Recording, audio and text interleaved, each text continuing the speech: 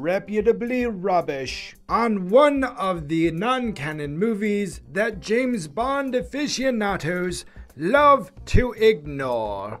I would like to quickly thank James of the USS Reliant, currently en route to Ceti Alpha 6, for suggesting this movie. Don't worry, James, I'm sure it's just going to be a routine check. Never Say Never Again, the much maligned and most polarizing of the James Bond films. So much so that many avid fans of the franchise refuse to acknowledge that the film even exists. The title itself was inspired by the wife of Sean Connery in her mocking his response to reporters asking the question if he would ever consider returning to the iconic role. The tale of Never Say Never Again could be viewed as an underdog story enshrouded in lawsuits, dueling egos, and betrayal. In many ways, it's a miracle that the film was ever made. There are several well done videos covering the drama and the origins of this film, so we are going to do our quick abridged version. Are we really going to do this? Of course, we are. It's important that they know the history. Fine. Ladies and gentlemen, it is with misplaced sense of pride that the reputably rubbish Traveling Actors Guild presents. Bum, ba, ba, ba, ba, ba, bum. Good lord. The abridged drama of what happened 25 years before the production of Never Say Never Again even started. Tis I, Ian Fleming, the scribe who created the master spy James Bond. It is now the year of our Lord 1958, and I wish to pen another adventure. Who is it I see? Tis none other than Kevin McClory, Jack Whittingham, and Ivor Bryce. Fellows, shall you join me in the authorship of a screenplay that shall be called Longitude 78 West? Yeah, oh, okay. sounds good. I don't see anything that could go wrong here. The screenplay is started, but lo, Ian Fleming grows bored and abandons the project. The dawn of 1961 is upon us, and the temptation grows like a seed in the mind of Mr. Fleming. I shall transform the screenplay of Longitude 78 West to a book and call it Thunderball. I shall not give my co authors credit, as I have changed the title and can think of no other reason for this betrayal.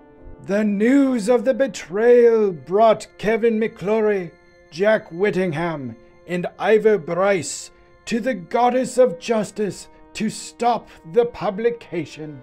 Oh, Justice, please stop this vile publication. No. Fine then. We shall try again in two years, but this time sue him for plagiarism. Let it be so. You will settle out of court, but you, Kevin, will be granted £35,000 and the television and film rights to Thunderball. Well, you will have producer credit of the 1965 film Thunderball. You will be thereafter cursed and restricted in your use of the James Bond property. Uh, all right. And so it was. Kevin was locked in legal battles over James Bond until 2001 and died in 2006, exactly 43 years after the Thunderball court case. In 1964, Ian Fleming passed on after his third heart attack, partly due to the stress from the lawsuits and partly to smoking 60 cigarettes a day. Woe to the tobacco! Woe! No, no, stop applauding. You're only encouraging him. That was not a drama, that was a tragedy.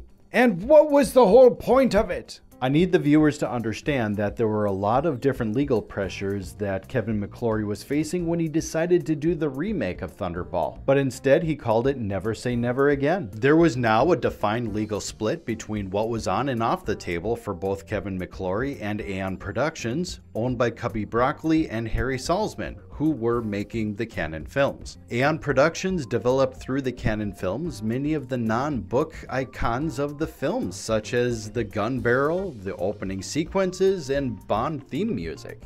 Kevin McClory kept the rights to the characters of Blofeld and Spectre, which is why you haven't seen or heard from Spectre until the 2015 film after Kevin died. Wasn't Blofeld killed at the beginning of For Your Eyes Only? The opening scene of For Your Eyes Only only had the likeness of Spectre leader Blofeld, with no actual mention of his name. It did not break the legal contract, but it did not go unnoticed. A James Bond movie without the Bond music, gun barrel, or opening sequence? That's like asking Gordon Ramsay to make a show without cooking, swearing, or making the contestants cry.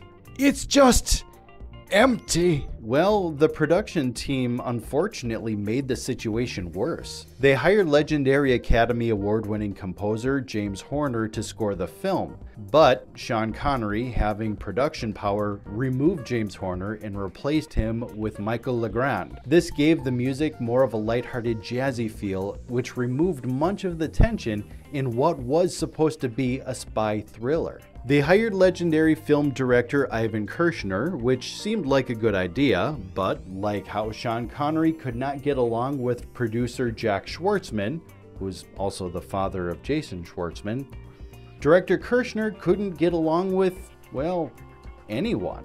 Kershner also said that the script was designed to satisfy a contract more than an audience, which, for legal reasons stated earlier, was exactly what it was. Star Sean Connery was 24 years older than leading Bond girl Kim Basinger, Basinger, Vicki Vale. Ridiculous sequences were added to the script to increase the action, but these included remote control sharks and 80s video games. The studio wanted a larger than life opening number, similar to the canon films, but with legal restrictions, the production was forced to place the title song over the opening action sequence. This again sapped the tension for what was otherwise going to be a memorable sequence. But the largest error in judgment came in sharing the same release date as the canon Bond film Octopussy starring Roger Moore. Bond versus Bond. With both films doing respectively well in the theater, Octopussy is still viewed as one of the best Bond films, while Never Say Never Again is largely forgotten. There were a lot of factors playing against Never Say Never Again, going back decades. However, if Jaws has taught us anything, not that one, the one with the shark, uh, it's that a difficult production can force the filmmaking team to get more creative and make the movie better.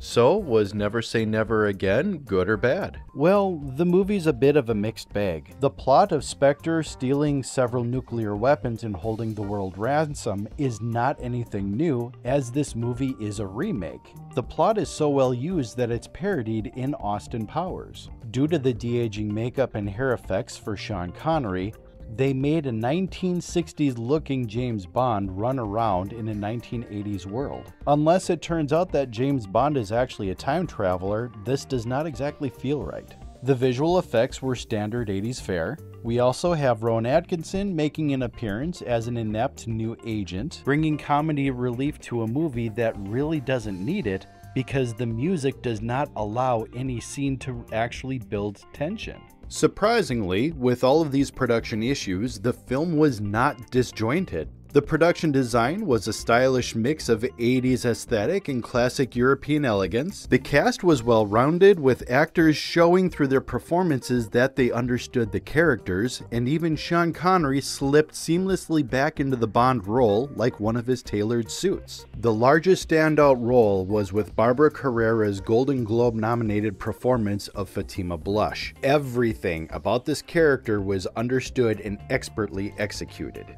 In a sequence where she had to kill a now disposable henchman, she pulls her car alongside his, throws a snake into his vehicle, the panicked driver goes off the road.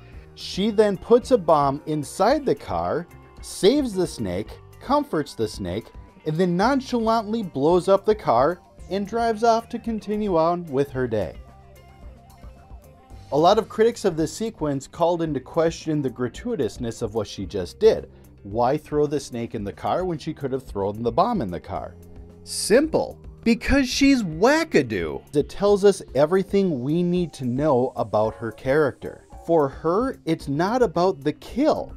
It's about the joyous rapture that she gets from bringing about death. Her monologue at her demise plays two roles. Practically, it was a shoehorn sequence that gave James Bond the ability to position his exploding pen. Character wise, it was to stroke her ego and have the world's greatest spy put down in writing that she was the best sex of his life. Freak respects freak.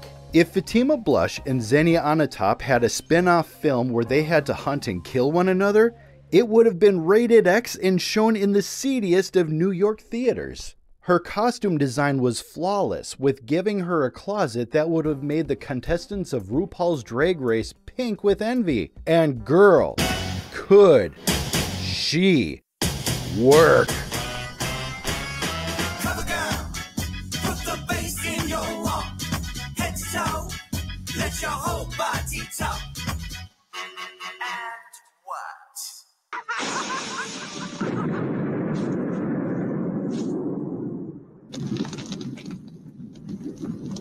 Do you need a moment? Shut up! She was the best part of the movie! Then wrap it up before you get too emotionally attached and write another Greek tragedy about your lost 80s love.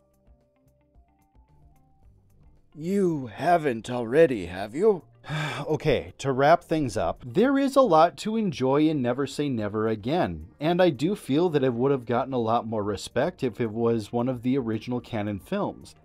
But it was a remake of one of the most iconic of the canon films. For many, as a remake, this film is like a McDonald's cheeseburger. Your brain knows it has the same name, ingredients, and components as an actual cheeseburger, and you might actually enjoy eating it. But after you're done, your stomach will ask, why didn't you just eat an actual cheeseburger? And I'm not against remakes. If enough time has passed, or if they have an interesting reimagining, or if they offer something that the audience haven't seen before, I'm all for it. Which is why the 2006 remake of Casino Royale with Daniel Craig worked. But Never Say Never Again had none of these, and this film only exists out of spite for the author Ian Fleming. There is no other remake that I can think of that actually cast the original actor as the same starring role. For these reasons, I feel Never Say Never Again, while enjoyable, is unfortunately unnecessary. And the best remake of Thunderball really truly is Austin Powers. Thank you again, James, for the suggestion of this film. I hope the mission is going well. If any of you feel that there is a movie that deserves a defense, please by all means comment below, let me know. Until then, have an amazing day. Thank you for watching this talkie picture. Please leave a message down below, select the like picture, and subscribe to be a member of our community. Thank you.